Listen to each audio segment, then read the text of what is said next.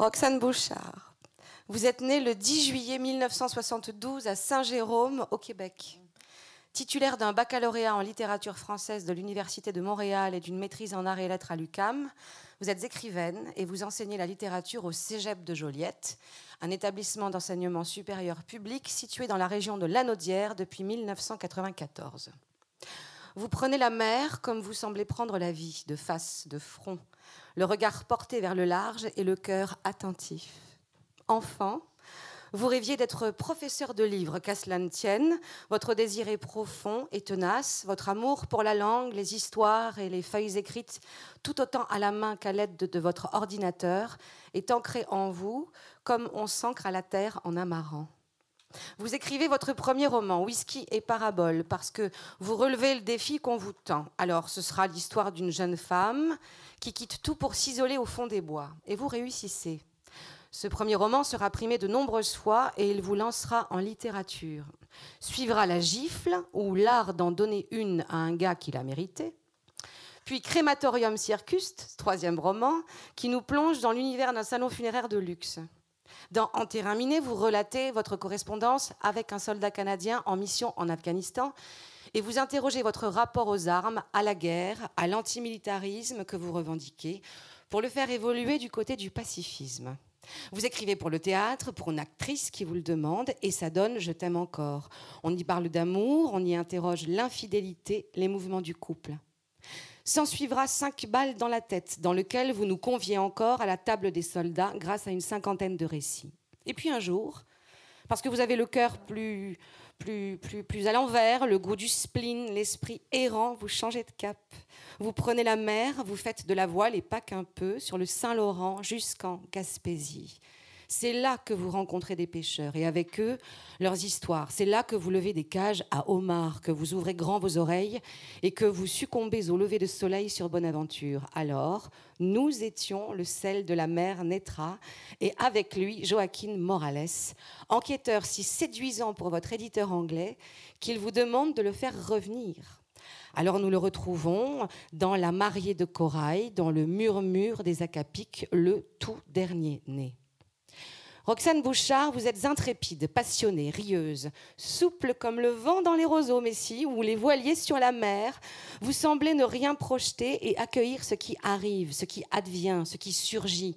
Vous laissez entrer en vous jusqu'au désir des autres et vous vous armez d'un crayon pour raconter ces désirs confondus. Vous aimez qu'un voyage vous entraîne vers un autre, qu'une rive en cache toujours une autre. Pour vous, être écrivain, c'est être capable de prendre ce crayon et de raconter l'humanité, d'avoir un autre regard que celui qu'on a dans sa cuisine, car les choses et les âmes sont plus complexes qu'on ne le croit.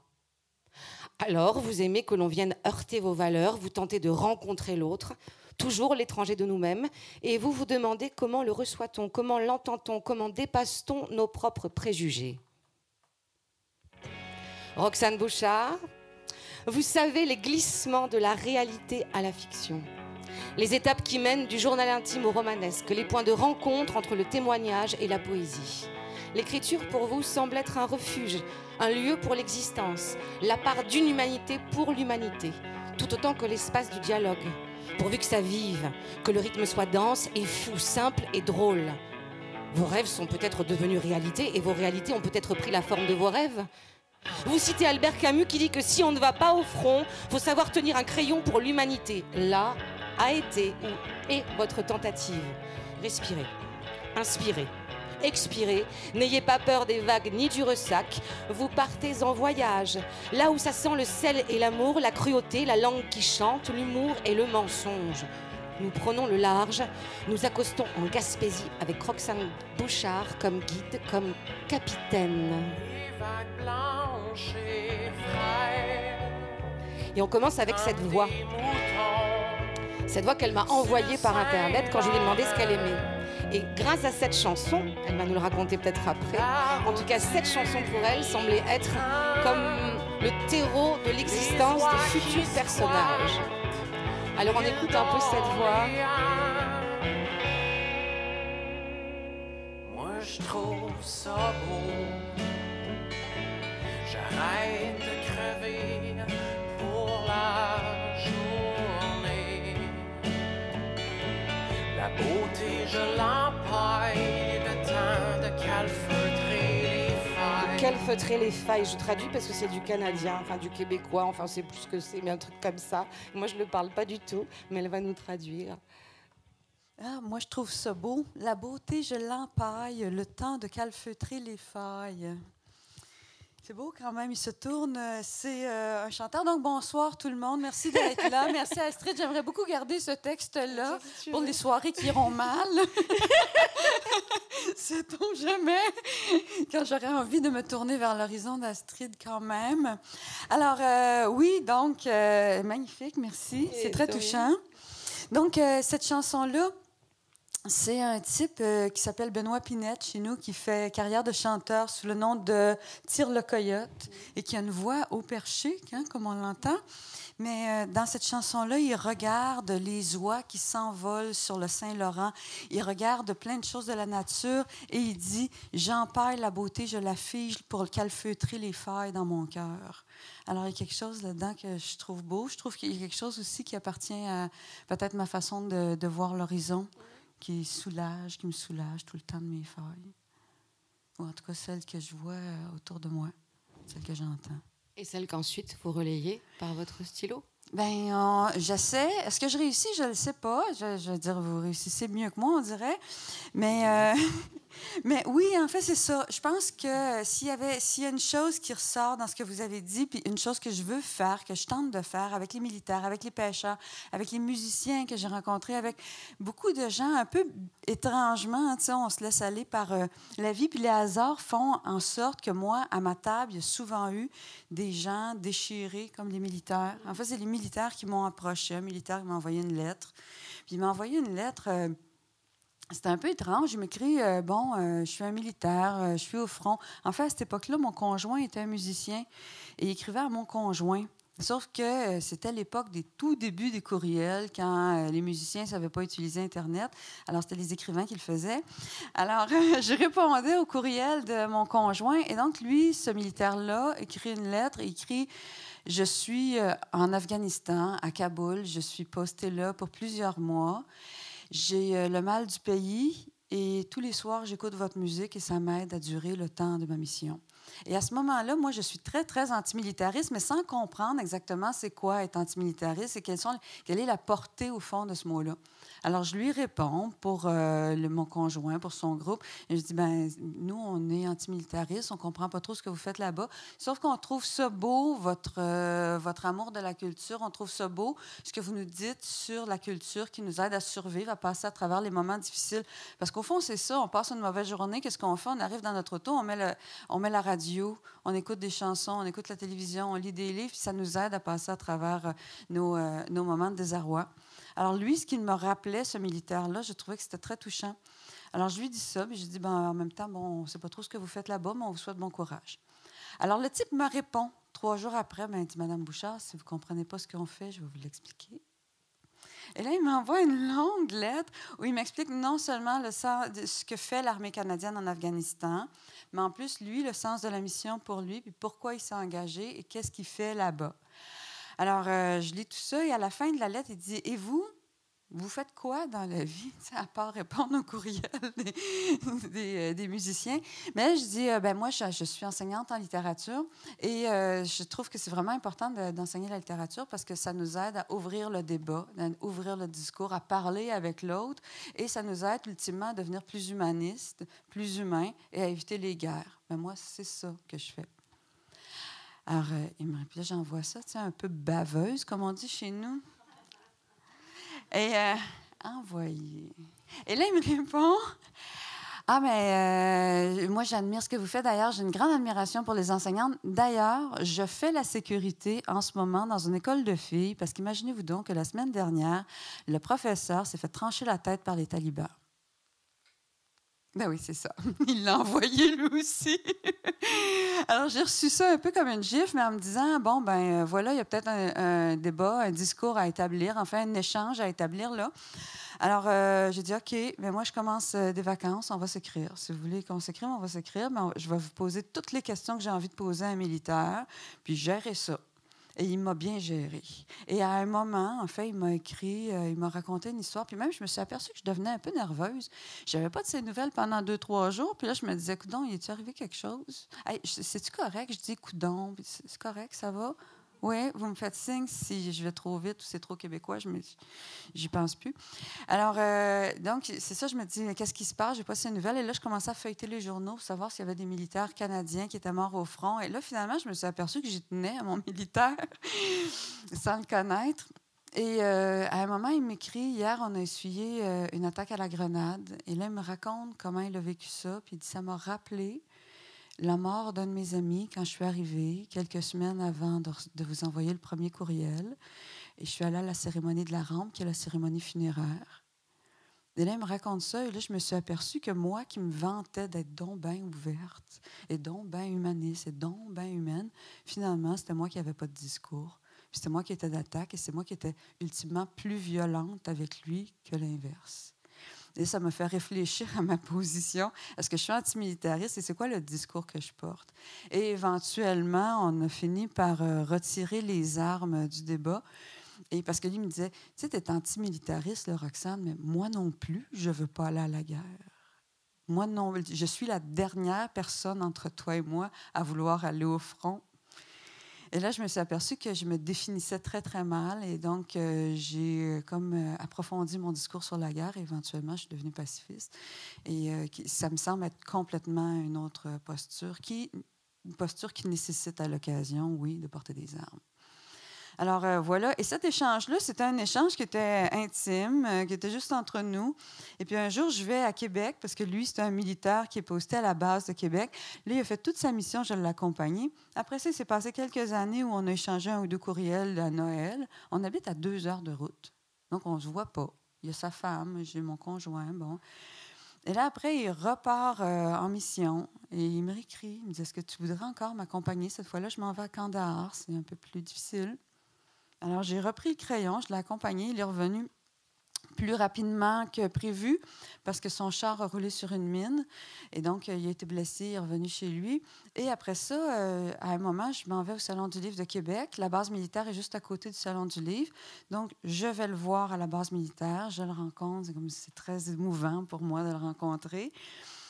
Il y a un accent de Québec. Et euh, de, de- rencontrer quelqu'un avec qui tu écris depuis des années, mais tu n'as jamais vu, c'est très touchant. Et je reviens au Salon du Livre et je suis bien énervée. Puis là, je dis à mon éditeur, je viens de rencontrer mon, euh, correspondant militaire. Et là, mon éditeur me dit, c'est quoi ça, un correspondant militaire?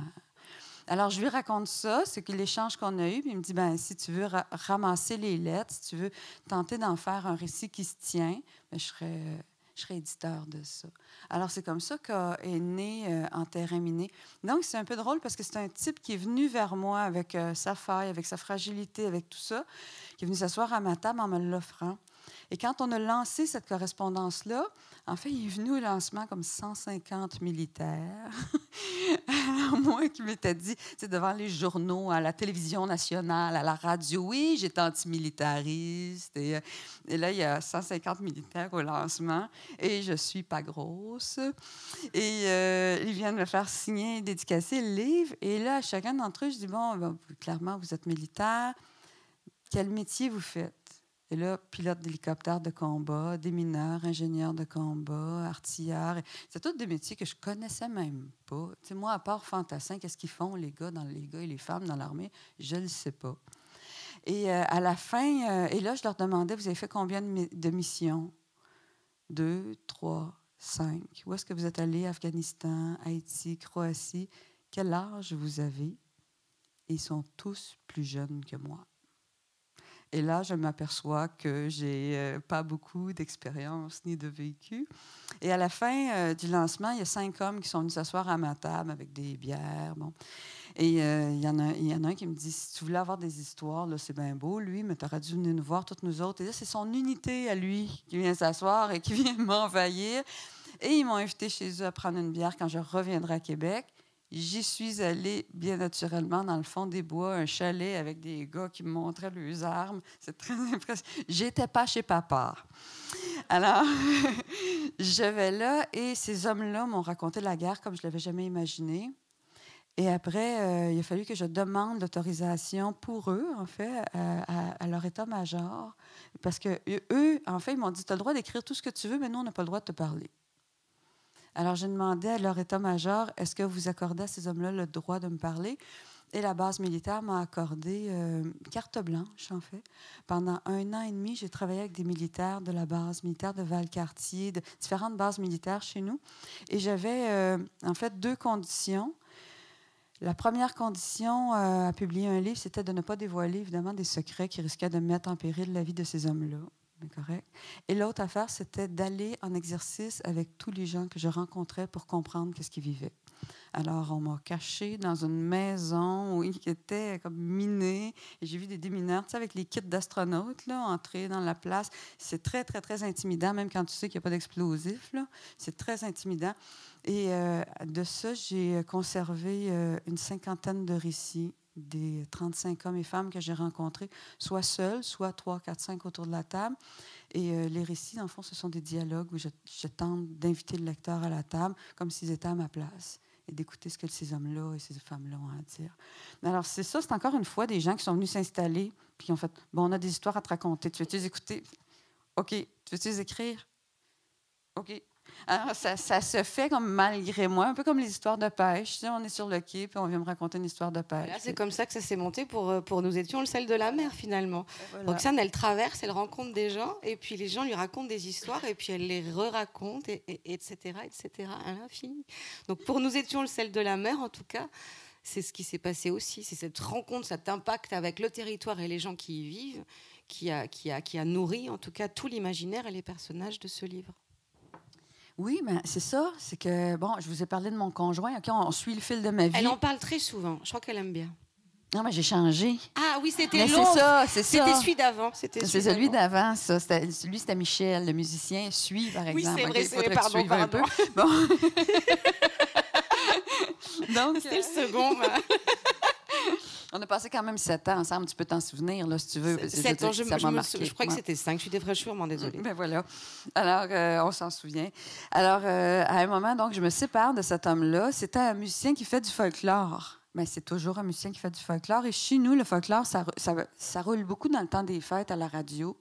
Et on s'est séparés entre Noël et Jour de l'An, imaginez-vous donc. J'allumais la radio pour me faire du bien, puis c'était lui qui chantait. L'enfer. Et. euh, donc, et chaque été, les étés précédents, je me posais pas trop de questions comment j'allais passer mes vacances. J'embarquais dans l'autobus des musiciens, puis je faisais une tournée, tournée du Québec, des États-Unis. Je partais en voyage avec les musiciens. Dans le fond, c'était ça mes vacances. Et là, je vois l'été qui arrive et je me dis, mais bon sang, qu'est-ce que je vais faire de mon été? Et j'ai eu un correspondant pendant très longtemps, quand j'étais adolescente, un correspondant qui, euh, qui vient de Lyon.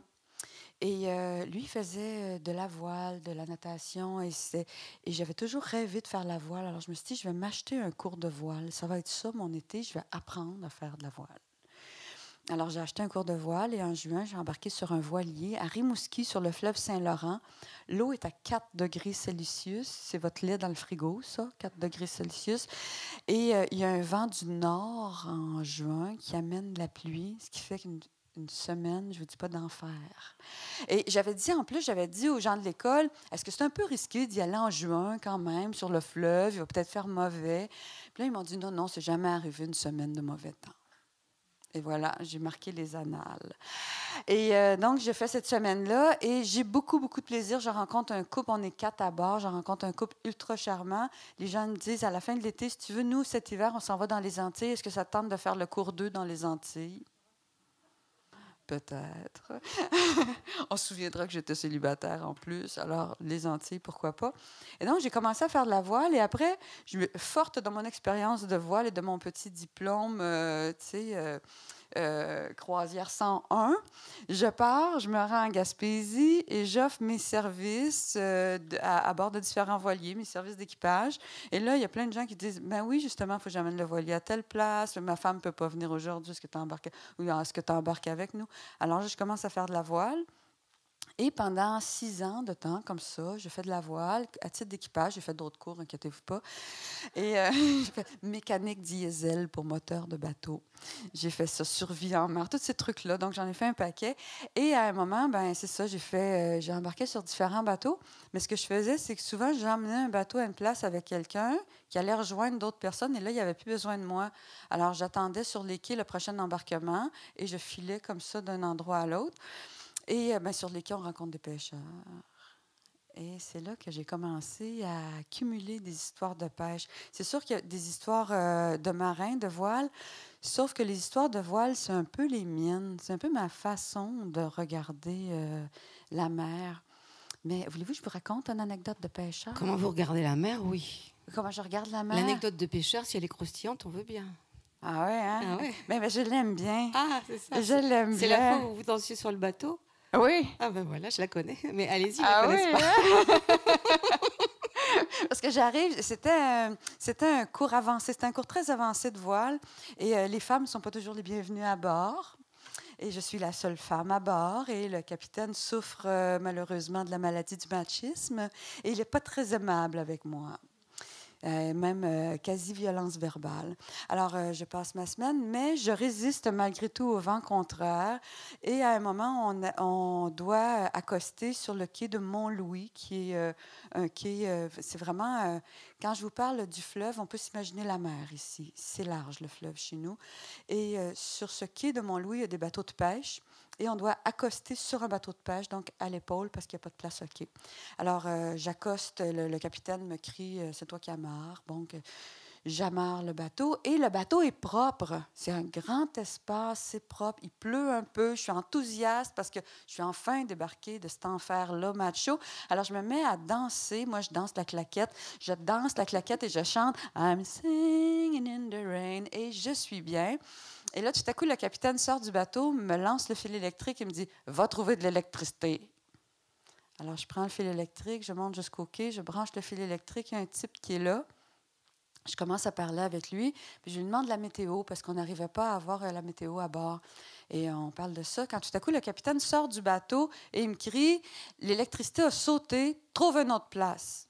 Il rentre dans le bateau. Et là, l'homme sur le quai me dit Mais c'est qui ce type-là? Je fais Ouais, bon, c'est peut-être un peu mon skipper cette semaine. Euh, C'est pas. Super embarcation, mais bon. Et là, je lui dis, où est-ce que, savez-vous, où est-ce que je peux trouver de l'électricité? Il me dit, ben, branche-toi sur le bateau de pêche, il y a la génératrice qui roule. Ben, je dis, ben, je peux pas faire ça, je connais pas le pêcheur. Il dit, c'est à moi le bateau. Puis quand une femme danse à mon bord, elle peut faire n'importe quoi. Et lui, après. Et ça, c'était O'Neill Poirier. Et O'Neill Poirier ouvre. Oui, nous étions le sel de la mer. Et c'est drôle parce que dans la, première, dans la toute première scène, et O'Neill, c'est ça. Après ça, je commence à lui demander des anecdotes. Je lui dis Qu'est-ce que tu as pêché de plus particulier, là, de plus étrange, O'Neill? Il me répond Un, Un dentier. dentier. Là, je dis, mais où ça? Il dit, ben un dentier dans une morue. Je dis, OK. Puis là, je dis, qu'est-ce que tu as fait avec? Puis il me fait. ça, s'invente comme pas. mais les pêcheurs, c'est ça. Chez nous, ils sont pleins d'histoires. Ah, tu veux que je lise le début? Eh ben, du coup, on va lire le début. OK. Tu veux pas le faire? Non, Peut-être que tout le monde est d'entendre l'entendre. sa voix, sa langue, euh, son rythme. Ah, je pourrais, c'est tabernacle, là, je peux dire. J'y arriverai pas. plus ça. J'y arriverai pas. Ça prend un grave, hein? Ça prend du grave. C'est Oui, mais c'est une vraie musique. C'est vraiment, il y a quelque chose vraiment- de totalement. C'est drôle parce que tout le monde nous demande de sacrer. Je peux sacrer, là, Saint-Cyboire de petite calice, de tabarnak. Sauf que, Il y en a plein là-dedans. il y en a pas mal là-dedans. Sauf que moi, ce que je trouve le plus savoureux du Québec, ce sont euh, les expressions. La musique même. Il y a une façon, même sur les finales, de, de, de- Oui. enfin, à force d'écouter, euh, voilà, de, de rallonger des finales, d'en contracter certaines autres, de faire des, des élisions qu'on fait pas nous. Voilà, c'est tout Oui, un, y, a un rythme, il y a un rythme qui est très jazz une autre américain dans notre langue. Exactement. Oui, il y a un rythme qui est très bluesé. Alors, euh, le livre s'ouvre euh, sur O'Neill, l'Alberto, 1974. Quand O'Neill Poirier a vu la coque du voilier se profiler à travers le hublot de sa cabine, il s'est dit que la journée commençait vraiment mal. Poirier, il venait des îles de la Madeleine avec son caractère et ses deux aides-pêcheurs. Ils étaient arrivés l'avant-veille à Mont-Louis, le temps de se ravitailler pour rallier l'île d'Anticosti où les attendaient la morue et le hareng. Ils s'étaient couchés tôt la veille pour partir avec l'aube et n'avaient pas entendu le voilier s'amarrer à leur épaule. Le ronronnement de la génératrice avait sûrement couvert les bruits de pas de l'équipage voisin. O'Neill Poirier a dit à ses gars de se lever et Boudeur, le pêcheur, est monté sur le pont pour faire un peu de tapage, question que ces vacanciers de voileux comprennent clairement qu'ils n'étaient pas les bienvenus. Quand un homme se lève à 3h30 du matin pour aller faire son ouvrage dans l'eau glacée de l'estuaire du Saint-Laurent, ça lui tente pas de régler le cas d'un voilier de touristes endormis qui rechignent à se réveiller de bonne heure et rouspètent parce qu'ils ont peur que leurs amarres soient pas bien rattachées par les pêcheurs. O'Neill est sorti. Comme de l'effronterie, le propriétaire du voilier avait eu le culot de brancher son électricité à même le bateau de pêche au lieu d'amener le fil jusqu'au quai. O'Neill Poirier l'a débranché avec rudesse, s'est penché au-dessus du monocoque et a frappé fermement contre le pont. Hey, le sauvage! Sors, faut qu'on se parle! C'est là qu'il a entendu de l'intérieur un râlement de femme, une plainte longue et déchirante, et Poirier a senti sa nuque se hérisser parce que, décrit comme ça, le pêcheur n'en avait jamais entendu. O'Neill Poirier avait déjà affronté des vents de 75 nœuds au large d'Anticosti et c'était pas un peu heureux. Il a attrapé son grand couteau à éventrer les morues a sauté sur le voilier au moment où retentissait un autre cri, plus haletant que le premier. Il a ouvert le capot de descente, a dévalé cinq marches en moins de deux. Hey, ça va faire! Pas de réponse, juste un souffle bruyant et un mouvement désordonné. Il faisait chaud, humide. Dans la pénombre et le bordel ambiant, Poirier a pris un temps avant de discerner ce qui se passait. Il s'est approché lentement, encore méfiant de la banquette latérale où elle gisait, et quand il a vu de quoi il s'agissait, il n'a pas hésité. Il s'est avancé sur cet élan bien décidé qu'on lui a toujours connu, a lui-même coupé le cordon ombilical, lavé le bébé dans l'eau tiède et jeté le placenta au poisson. Il a ensuite essuyé le front de la jeune mère, a déposé sur elle le nouveau-né bien emmailloté, les a enveloppés dans une couverture chaude et a quitté le sloop sans faire de bruit. Ce jour-là, les hommes de l'Alberto ont déplacé avec beaucoup de délicatesse le voilier de la femme qui avait dû, en urgence, s'amarrer à leur épaule, se sont assurés par deux fois que les gardes étaient solides et ont eux-mêmes rebranché le fil électrique au quai. Ils sont partis vers le large avec un peu de retard et longtemps, ils ont regardé en arrière. Ah, donc le livre s'ouvre presque sur un, en effet, sur un, double sens. On, va, on, on prend la mer, on rentre dans l'univers de la mer et de la mer, eux. Ça démarre par un accouchement. Et c'est tout, je trouve, tout le contraste euh, qui vous caractérise. C'est-à-dire qu'il y a cette partie visible de l'iceberg que vous ressentez d'ailleurs en, la voyant. Elle sourit, elle rit, voilà, il y a quelque chose de très, très énergique, de très, très avenant. Et puis il y a toute la partie, euh, on va dire, plus invisible de l'iceberg et qui je trouve aussi est, drôlement intéressante. Et là, rien que sur ce début, on a cette chose merveilleuse de la vie qui arrive en pleine mer et on va comprendre assez tôt, je révèle rien du roman, que donc cette enfant qui va naître est euh, celle qui sera aussi la narratrice du roman. Dans ce roman, il y a des voix qui se confondent. Pour ça que je parlais aussi des voix tout à l'heure qui se confondent. Il y a du jeu, mais il y a le jeu de la narration, on va dire. Puis en plus, après, il y a un jeu qui est beaucoup plus intérieur et toutes ces voix, toutes ces solitudes finalement se, confondent dans l'immensité de ces solitudes-là, de toutes les autres, celles du village, celles des villageois, celles des amis. Euh, et, on, voilà, on prend le large vraiment dès le départ avec cette, cette histoire de mer, de marée, d'accouchement. oui, c'est bien dit, ça vous va? C'est parfait. C'est pour la petite anecdote que il y a une femme du village de O'Neill qui l'a appelé pour lui demander si c'était vrai qu'il avait déjà accouché euh, une femme à bord d'un voilier. Et O'Neill, vous le connaissez, a répondu Ce qui se passe en mer reste en mer. il n'a jamais nié. En tout cas, il est question de, voilà, de secret. Dans ce roman, on parle de secret, de mensonges, de femmes, parce que l'air de rien, voilà, ça démarre par l'accouchement d'une fille.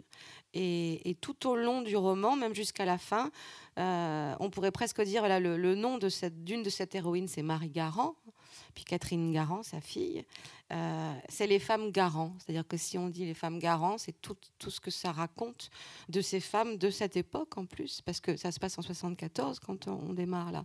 Cette femme, elle est euh, incroyablement euh, courageuse, affirmée, et quand on et dans toute l'œuvre que vous avez écrite, il y a un questionnement qui est récurrent autour de l'amour quel qu'il soit, en fait, toutes ses formes.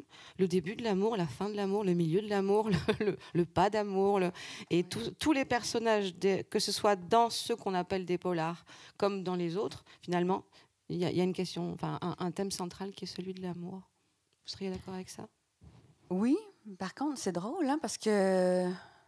C'est drôle parce que moi, j'avais pas l'impression que c'était un polar quand je l'ai écrit. Pour Moi, moi, non plus, je trouve que c'est presque un. Oui, en fait, c'est à oui, Londres qu'ils ont décidé que c'était un polar. Oui, c'est ça. C'est pour ça que j'ai parlé ça. de l'éditeur londonien. Il s'est dit, lui, Joaquin Morales, donc, il va arriver pour démêler Ouais. une histoire de mort, pour le coup. Donc, euh, hop, elle s'est dit, euh, il, a le, il a le profil de- enquêteur. d'un enquêteur récurrent, d'une série télé, même peut-être, je ne sais pas si. Oui, voilà. ça, on, est- si ça sort. on y travaille. Donc, Joaquin Morales, on peut en parler peut-être aussi? Ben, on peut en parler. Donc, c'est ça. Ben, peut-être le- je peux le mettre en, en scène. En fait, euh, ce qui arrive, euh, c'est que tout de suite, dans le chapitre après, on arrive 30 ans plus tard et c'est euh, le bébé accouché, donc, qui est une jeune femme qui va à la rencontre de sa mère biologique, qui est euh, Marie Garand, qui est partie en voilier. Donc, elle l'a accouchée, mais c'est une femme de mère et elle est repartie. Donc, elle l'a mise euh, en tutelle. Et. euh, donc, Catherine a, parce que ses parents, ses, ses parents adoptifs sont décédés, elle a le désir de rencontrer sa mère. Elle s'en va en Gaspésie pour rencontrer sa mère. Sauf que, pas de bol, diriez-vous, quand elle arrive, euh, un pêcheur un matin remonte le corps de Marie Garand dans son filet. Et donc, cette femme-là doit gérer elle-même la rencontre avec sa mère qui est morte. Et c'est là que Morales arrive. Donc, euh, dans euh, tout ça, il y a des, pêcheurs. Pour moi, c'est un roman sur la nostalgie plus que sur l'amour. Pour moi, c'est sur le mensonge. C'est-à-dire qu'il y, y a pour moi des mensonges qui sont comme socialement acceptables. C'est-à-dire que, par exemple, un pêcheur qui va me dire, sais, j'arrive, je fais pis, la pêche a été bonne. S'il me dit, ah non, j'ai attrapé trois petits flétans, c'est un peu ennuyant. Alors moi, je veux que le pêcheur me raconte la pêche miraculeuse, les vents, ça a été mal, on a cassé la direction, on a failli s'échouer. Ah, Moi, je veux que ça brasse la pêche et je veux que tu en mettes, je veux que c'est, vas-y, rajoute du vent et fais-moi plaisir, que ça devienne une histoire de pêche. Alors, pour moi, c'est comme socialement acceptable que les pêcheurs me mentent un peu sur leurs histoires parce que ça, devient rocambolesque. L'autre, les autres mensonges que je trouve socialement acceptables, c'est ceux qu'on se raconte sur le passé. Par exemple, quand, quand j'étais enfant, mes parents il y avaient un petit chalet à la campagne et j'arrêtais pas de dire à un moment, c'était tellement agréable, c'était tellement beau quand on allait au chalet, c'était merveilleux aller au chalet. Dans la vérité, c'était pas si merveilleux que ça. Il y avait des moustiques, on, souffrait souvent de solitude parce que nos amis n'étaient pas là. Sauf que avec la nostalgie, on transforme les faits. On, les, euh, et on, a une mémoire assez sélective, n'est-ce pas? Alors, on transforme. sauf que personne ne va me demander de compte là-dessus. C'est comme correct. C'est un autre mensonge que je trouve socialement acceptable. Raconte-moi ton enfance et réinvente-la pour moi. Et l'autre chose, c'est les coups d'émotion. Par exemple, tu as des enfants. Il y a des fois, sûrement, tu dis, je les passerai au hachoir.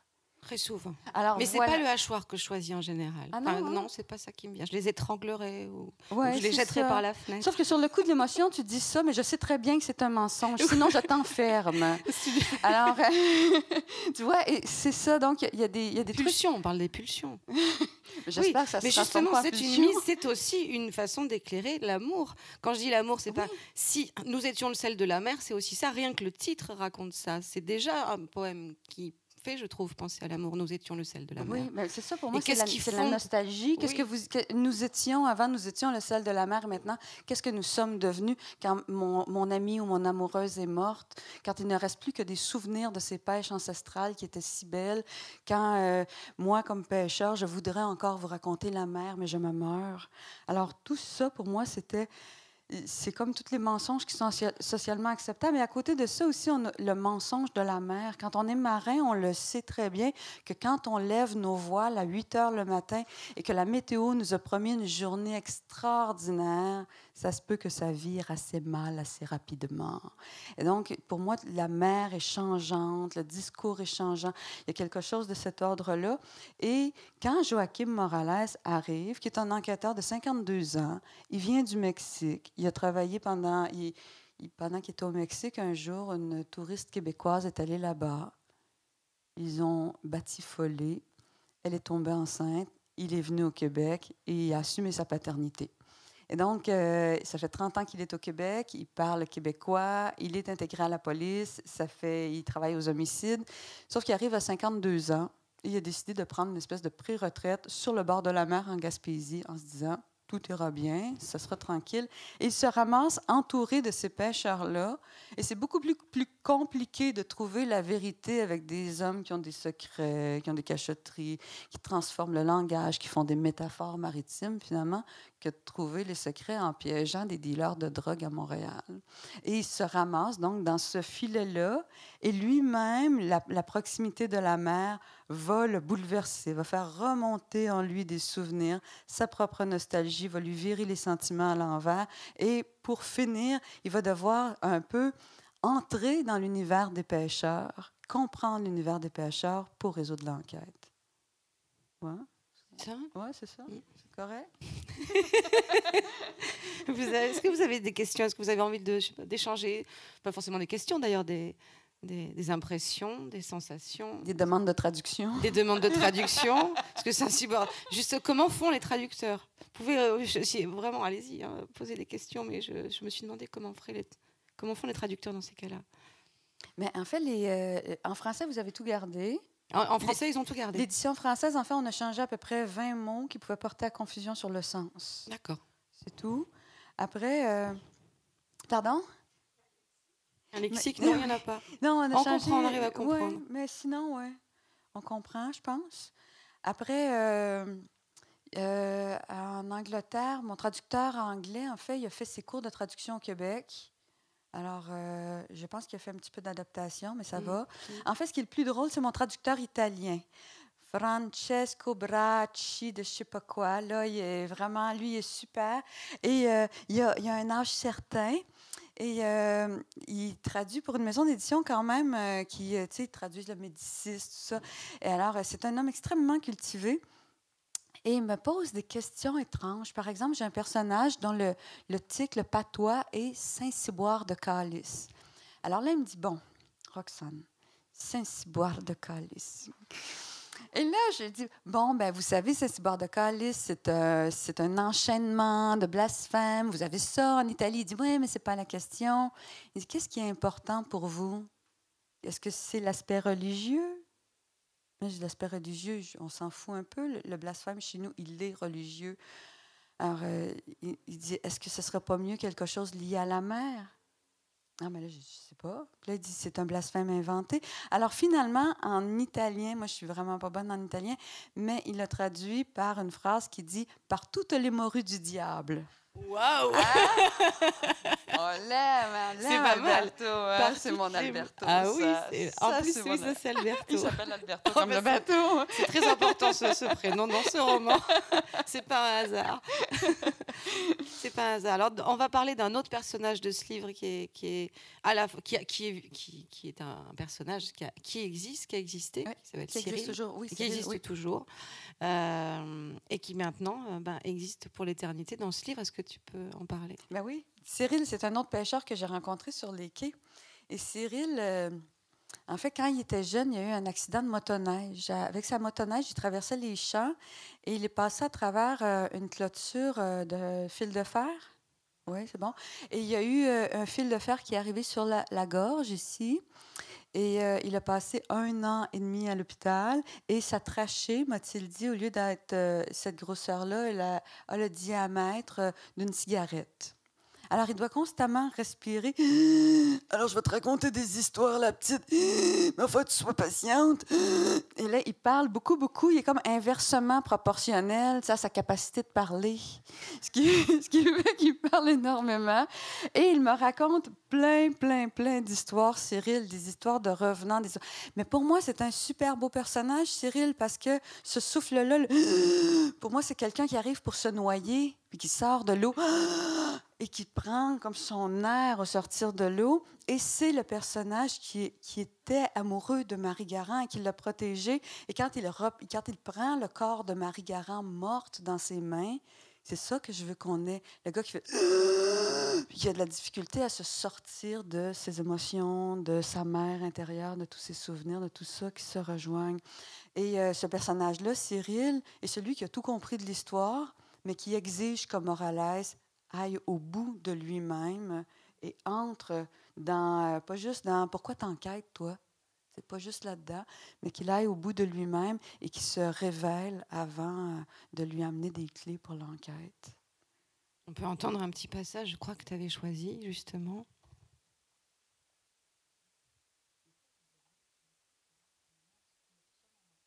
Astrid m'avait dit, je vais lire plein de trucs, tu vas voir. Puis là, on dirait qu'elle met tout ça dans ma cour. Elle est partie prendre un verre de vin au bar pendant que je gère mon affaire. Chère Astrid, on s'en souviendra. J'ai hâte que tu viennes au Québec, toi. Alors, euh, tiens, oui, il y a un moment où, euh, où l'enquêteur va rencontrer donc Cyril Bernard. Donc, vous allez avoir le croisement euh, des voix de l'enquêteur et de Cyril. Et l'enquêteur, euh, vous voyez que c'est un peu à la fin du livre, hein, va chercher, tente d'aller chercher des réponses auprès de Cyril parce que tout le monde, au fond, lui ferme la porte. Donc, Morales commence. euh, écoutez, Cyril, non. Vous écoutez, parce que moi aussi, je m'en pose des questions. Il se redresse dans son lit. La femme que j'aimais est morte, tuée par un homme de mon village. C'était peut-être un accident, peut-être pas. Mais tout le monde se doute que c'est lui. Parce que dans un pays comme ici, tu portes ton secret comme un chapeau de carnaval. Cet homme-là a retrimballé toute sa vie un sac à remords que je voudrais pas. Le genre de sac qui devient plus lourd à mesure que tu avances, qui te fait trébucher en pleine rue puis que tu es obligé de porter tout seul. Il sait qu'on le sait. Vous pensez faire quoi en l'arrêtant? Nous enlever notre douleur? Rendre justice à qui? Marie ne reviendra pas. La justice, c'est ta conscience qui te la pèse dans la balance, puis vos rapports n'ont rien à voir là-dedans. Cet homme-là fera plus de mal à personne, sauf à lui-même. Votre enquête est inutile. Oui. L'enquêteur se détourne des condensés. Les fardeaux les plus lourds sont ceux que personne ne voit. Il en a conscience. Tout homme se porte dans chaque pas et même assis. Alors pourquoi continuer, s'acharner à trouver, à punir? Qu'est-ce qui sera le moins ridicule? Abandonner ici ou forcer la vérité? Marie Garand est morte, puis vous êtes venu enquêter. Pourquoi? À quoi ça peut bien vous servir de remplir des rapports puis des rapports? Qui c'est qui va les lire vos rapports? Rien que des papiers. Pourquoi vous vous entêtez? Sûrement pas pour la Gaspésie, puis encore moins pour Marie Garand. Joaquin regarde dehors. Le matin couvre le cimetière d'une brume têtue. Pour Catherine. Cyril plisse les yeux, interrogateur. Morales regarde toujours dehors, mais sans voir. Pour elle ou pour moi, je ne sais plus. Dans l'immobilité, une veilleuse sur minuterie s'éteint quelque part entre le lit et la porte, rendant par contraste le cimetière brumeux un peu plus clair. J'ai eu 52 ans. 52 ans, vous savez ce que c'est. On va chez le médecin parce qu'on a tout à coup besoin d'un médecin. On se fait parler du cholestérol, du foie, du cœur, de tout ce qui n'est plus aussi bon qu'avant. On se fait dire de ne pas trop boire, de ne plus fumer, de mieux dormir et l'examen de la prostate. Malgré la pluie, la brume scintille de soleil levant. Un homme dans la cinquantaine, c'est toujours séduisant, viril. Dans la quarantaine, pardon, c'est toujours séduisant, viril. La cinquantaine, c'est, c'est le demi-siècle, le début de la vieillesse. Les rides et le pli, là, que je ne perdrai plus malgré les caresses, les caresses. Après 30 ans de mariage, les enfants, les soirées de Tupperware et les habitudes de mauvaise haleine, il faut être fait fort pour aller vers sa femme et se mettre à bander tout d'un coup. Moi, je fais plus ça comme avant. Il me faut du temps maintenant, de la préparation, un peu de vin. Ça fait quoi de sa peau un homme qui vieillit? Joaquin Morales se tourne vers Cyril, maigre sous ses couvertures. Il a le cancer. Je vous envie d'avoir aimé une femme toute votre vie. Le vieil homme reste immobile. Depuis que je suis ici, je rêve d'une autre femme, de tromper la mienne. Vous parliez de remords, je devrais me sentir infidèle, mais infidèle à quoi? Je ne sais plus qui je suis. Un quinquagénaire en train de rater son mariage, sa carrière.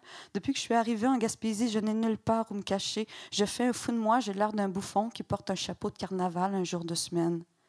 Cyril l'observe toujours. C'est pour ça que je veux fermer l'enquête. Je ne m'entête pas pour Marie Garand, vous avez raison. Je ne m'entête même pas pour Catherine, ni même pour savoir la vérité. Je m'entête pour moi, Monsieur Bernard, pour me prouver que je ne suis pas complètement fini, vieux et ridicule. Joachim Morales baisse les yeux, honteux ou soulagé de sa honte.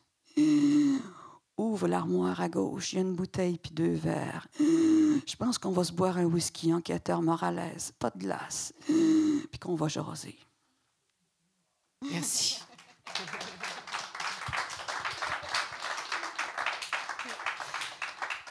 Alors, est-ce que vous avez des questions ou des envies de, dialogue avec. euh, Vous avez envie de lire hein? Ah, Ça, c'est déjà pas mal.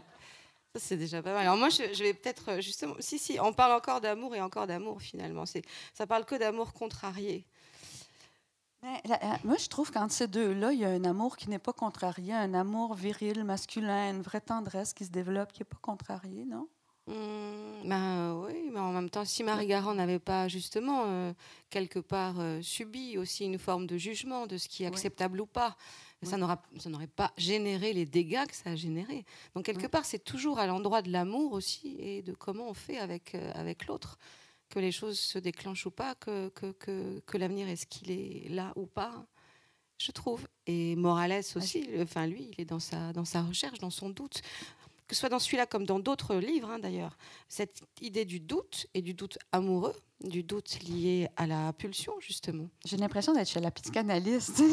ça me fait Moi j'ai lu vos livres, je ne sais pas ce que font les autres, mais moi je les ai lus. Et quelque chose de cet ordre-là revient très souvent. Euh, Comment on aime et est-ce qu'on est capable d'aimer et, et est-ce que c'est vraiment relié au temps? Est-ce que c'est le temps qui fait que on peut dire qu'on a aimé? Est-ce que, une seconde parfois justement échangée, authentique, forte, peut pas nous nourrir toute notre vie? Euh, Toutes ces questions-là, je trouve en tout cas parsèment, parsèment vos œuvres. Mais vous pouvez prendre le temps de répondre. hein. Je, vais- je vais peut-être lire un extrait. Ah non, non, je réponds pas à ça. Là. bah non, hein, il n'y avait pas de question. Mais alors, le, personnage, un, un autre, un des personnages centraux, donc cette femme, ça peut venir un peu justement en contraste avec ce que vous venez de lire. Voilà ce qu'elle se dit. Bon, autant avouer tout de suite que quand la glorieuse histoire d'amour garantie par tous les contes de fées de mon enfance m'avait foudroyé, je n'avais pas su y faire. Je n'en parlais pas, jamais. Je n'ai pas un don spontané pour les confidences de l'intime intimité et c'était difficile d'admettre ma trahison. J'avais carbonisé neuf ans de foyer conjugal en une nuit. Par une étincelle mal placée, j'avais réduit mon couple en cendres. Honteuse, je craignais de me rasseoir à la table du strip poker amoureux. Je boutonnais pudiquement le col de mes histoires passées sur ma gorge nouée. Par crainte, désarroi ou fuite, j'optais pour un célibat fanfaron que je secouais tel un hochet bruyant, lançant fièrement des Je suis une femme libre À qui mieux mieux, tout en ravalant mes soirées solitaires de pâtes réchauffées et de films de filles aux acteurs disgracieusement romantiques. La vérité, c'était que je ne savais pas trop quoi faire de cette solitude mal assumée et que je rêvais sans bruit de m'enfreindre un peu. Le cœur calciné, je doutais que l'amour puisse m'enflammer de nouveau, mais j'espérais encore en cachette. La puissance nonchalante du géant amérindien m'avait impressionnée la veille et fortement émue. Alors évidemment, j'étais curieuse de rencontrer l'autre pêcheur. Aussi étais-je à peine éveillée ce matin-là que déjà je me perchais à la fenêtre de ma chambre pour vérifier le quai. Le bateau du bizarrement nommé Cyril Bernard était absent. À la vitesse de l'éclair, je me suis savonnée, pomponnée, maquillée. J'ai choisi ma plus belle, ma plus jolie robe d'été décolletée et j'ai enfilé mes souliers à hauts talons. À rebours, je conçois l'étrangeté de se maquiller et de chausser des talons hauts pour aller rencontrer un homme qui revient de la pêche. Mais je n'ai pas souvent eu la féminité appropriée. À part ça, c'est pas un thème qu'elle qu'elle travaille vraiment depuis longtemps. J'aime beaucoup. Alors, j'avais jamais justement lu cette expression de féminité appropriée. Une expression, en fait, c'est mais... Non, justement, c'est vous qui l'avez peut-être inventé. Ça veut dire qu'en effet, donc, les femmes, peut-être aussi les hommes, ont, par rapport à ce corps social dont vous avez très bien parlé tout à l'heure, des comportements et des façons d'être. Mais surtout, en fait, dans, dans des milieux qui sont euh, stéréotypés comme ça. C'est-à-dire que je me suis aperçue que quand j'approchais euh, des marins, quand j'approche euh, des hommes de, guerre, puis ultimement, quand j'approche n'importe quel homme avec lequel j'ai envie d'avoir un, contact, finalement, je me dépouille d'une certaine forme de féminité euh, qui m'agace moi-même. Parce que de toute façon, quand on va en mer, tu peux pas en mer, quand tu es aux prises avec euh, les vents puis euh, le sale temps, tu peux pas commencer à te refaire une beauté. Bien sûr, mais là, elle le tu fait pourquoi jamais que vérité Bien de toi-même. Bien sûr, mais elle le fait parce qu'elle a. Elle, pourquoi elle le fait? Pourquoi elle s'habille comme ça? Mais Peut-être par habitude. Par habitude aussi de se, de se travestir. hein. Mhm. Mais moi, je trouve que. En fait, il y a quelqu'un qui m'a dit que dans tous mes romans, les femmes étaient mangées par la mère. Mm. Euh, je trouve que si elles ne sont pas mangées par la mère, elles sont fortement secouées par la mère. Les hommes aussi. Mais je trouve que il y a quelque chose qui nous dépouille et qui nous rappelle qui nous sommes vraiment en dehors des conventions sociales. Parce qu'on n'a pas le choix, finalement. Ça vous fait réagir ou pas du tout? Tout le monde est endormi. C'est- Non, non, non, je laisse Personne n'a rien compris. Non, mais alors du coup, bah, si, si vous avez encore envie d'entendre quelques petites choses, justement, puisque vous disiez que je lisais pas, ce que j'avais envie de lire, c'est-à-dire que dans ce roman-là, nous étions le sel de la mer. On parlait de ses voix, et il y a comme une voix. On ne sait pas si c'est la voix du fantôme, la voix de l'intérieur, la voix d'une fée même, ou d'une sirène, puisqu'on on va peut-être davantage se raccorder au langage de la mer.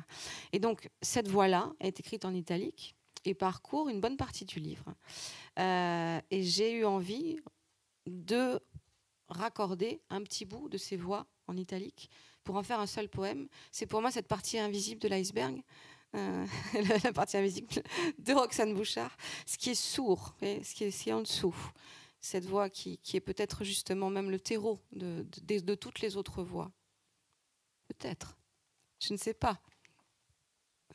En tout cas, je trouve que c'est de la poésie. Tout ça pour dire voilà, qu'en tout cas, la, la poésie, comme le rire d'ailleurs, est peut-être pour vous une sorte de porte de sortie, d'échappée euh, essentielle. C'est clair. Le Ah. rire, euh, le rire, quel bel échappatoire. J'ai beaucoup d'humour. Mais la poésie aussi, je trouve en tout cas. On ne connaît pas la mer. Une profondeur insondable, un caractère imprévisible, du ressac et des marées. Pourtant, quand la coque se tourne vers le large, que les vagues longues et éphémères me hissent au sommet du monde et me ramènent dans leur berceau murmurant, quand le vent glisse dans le génois et s'appuie dans le grand voile, alors les doutes s'éparpillent et se dissolvent. Je tends les cordages, manœuvre la barre et l'horizon m'appartient. C'est là que je suis heureuse, dans l'effrayante et tumultueuse majesté du large. Quand la marée descend, une encre se jette dans ma gorge. Elle tire un peu plus à chaque vague, m'étouffe. La marée file et me fait mal ici, dans la poitrine, un écho avalant le contour des mots, un murmure mâché, une perte. La mer secoue mes images renversées dans son ressac dur et, au bout de mes bras ballants, pendent les alléluia décapités de mes naufrages. C'est malgré moi.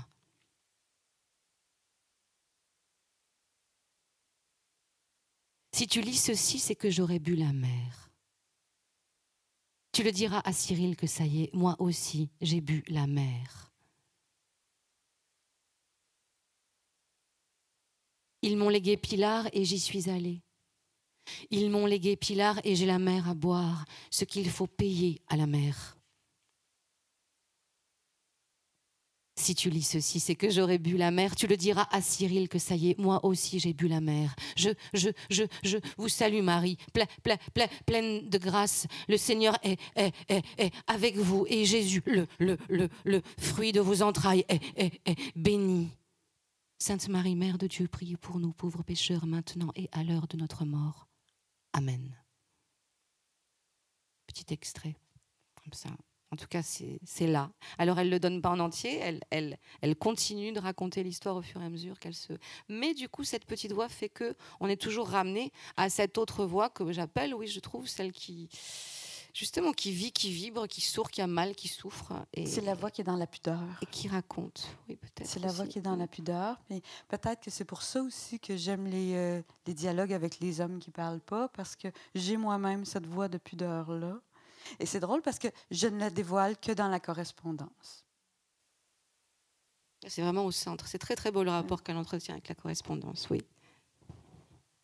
Attendez, juste un tout petit peu, comme, comme tout est filmé et retransmis, on veut bien que vous parliez au micro. Ah. Merci beaucoup. Non, je voulais euh, essayer de comprendre comment vous cheminez d'un livre à l'autre.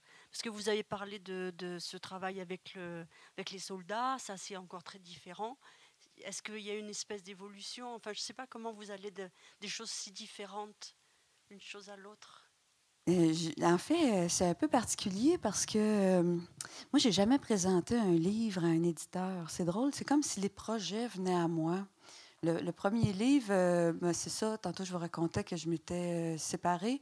Ça allait pas très bien. Donc, il y a un ami qui m'a mise au défi d'envoyer. un- En fait, il y a un ami, un correspondant qui m'avait mise au défi d'écrire un roman. J'avais écrit mon premier roman.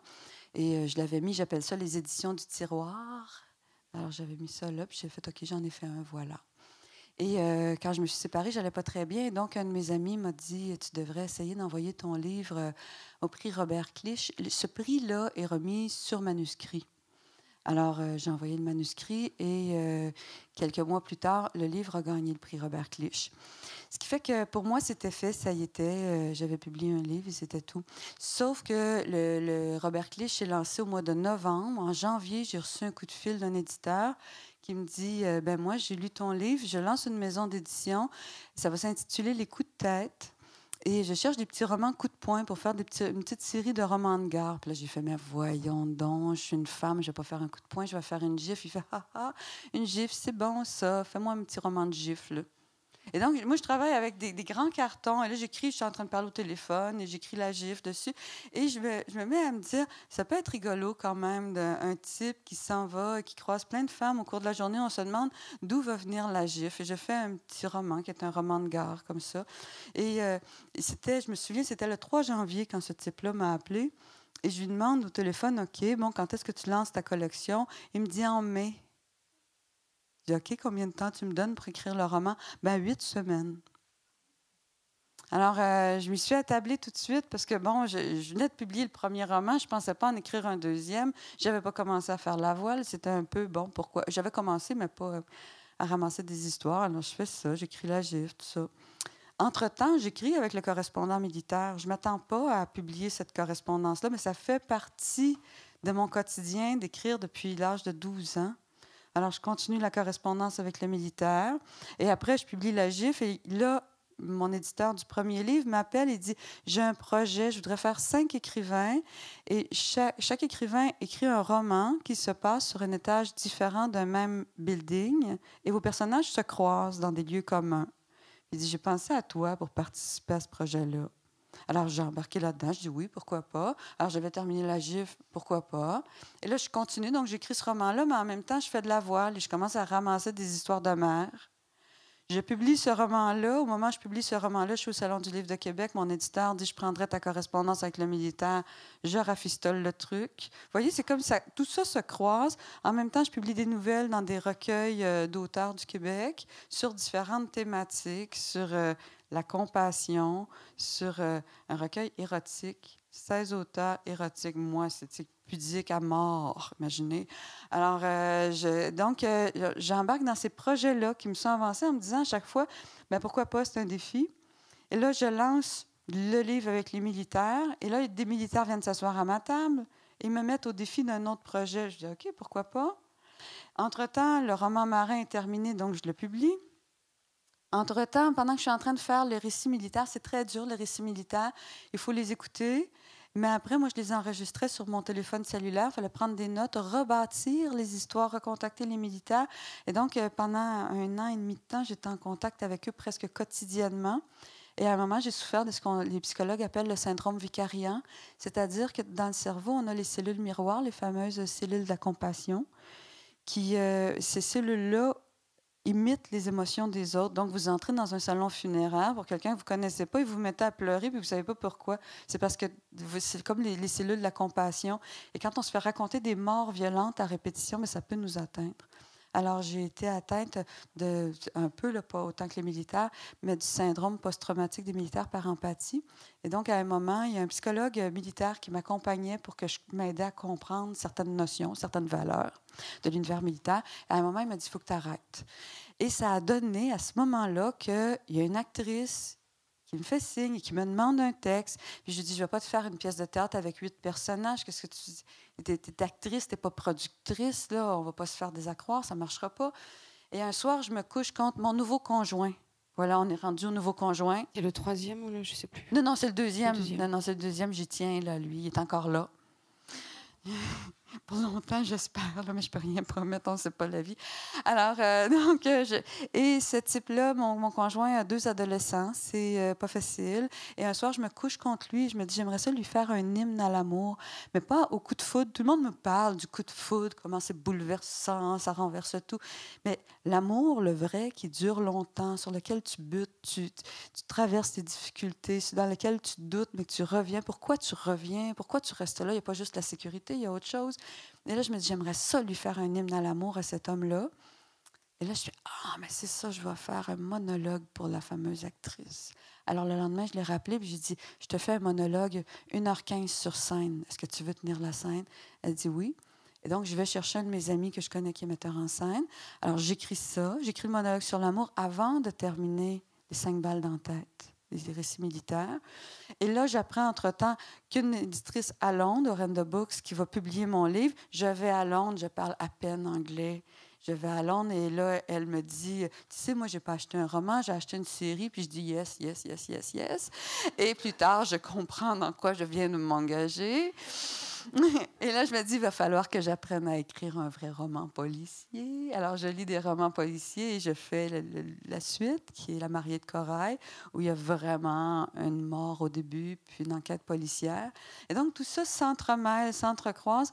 Et là, vous voyez, il y a- là, j'ai sorti le troisième, qui est un thriller. Mais entre-temps, il y a le metteur en scène qui a fait la première pièce de théâtre, qui a bien fonctionné au Québec, est revenu, puis il a lu les récits militaires, puis il a dit Est-ce que tu veux adapter ça au théâtre? Mais tu sais, c'est volumineux, là. c'est quand même 350 pages serrées. Et là, il dit J'aimerais ça que tu m'en fasses une pièce de théâtre. Et nous sommes en train de la monter. En ce moment, elle a été achetée par des théâtres à Montréal. Alors, euh, puis là, j'essaie d'écrire le quatrième Morales avec un peu tout ça en tête.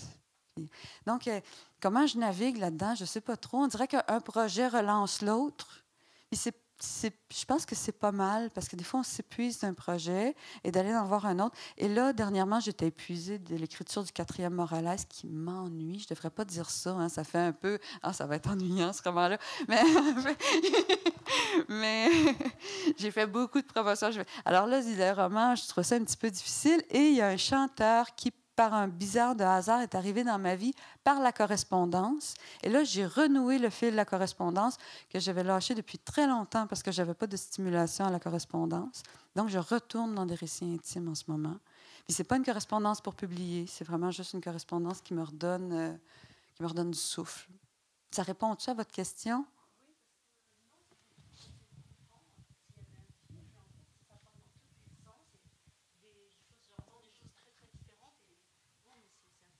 Suis éparpillée. Non, non, non, non, justement. Non, non, Mais- je veux dire, c'est des genres très différents et c'est, je sais pas, moi je trouve que c'est très riche aussi d'aller d'un genre à un autre parce que vous parlez de choses très graves, de choses plus légères, euh, voilà, enfin. Mais je pense que ce qui m'intéresse, qui soutient tout ça, à un moment, je me suis posé la question, est-ce que je suis en train de m'éparpiller au quatre vents? Et euh, je pense que ce qui soutient tout ça, c'est le désir du dialogue, et dans les pièces de théâtre, et avec les militaires, et avec... J'aime beaucoup travailler la langue dialoguée, mais aussi comment le dialogue... euh, comme tel dans le récit, va dialoguer avec la narration, comment les deux vont s'imbriquer, vont créer des contrastes. Vous avez vu tantôt, il y avait la lumière qui s'allume, et pour moi, quand la, la, la, la- qui s'allume, et on voit mieux ou moins bien le cimetière à côté. Donc, pour moi, ça évoque quelque chose dans le personnage. Donc, pour moi, le dialogue est en, le, le- décor est en dialogue avec la narration tout le temps.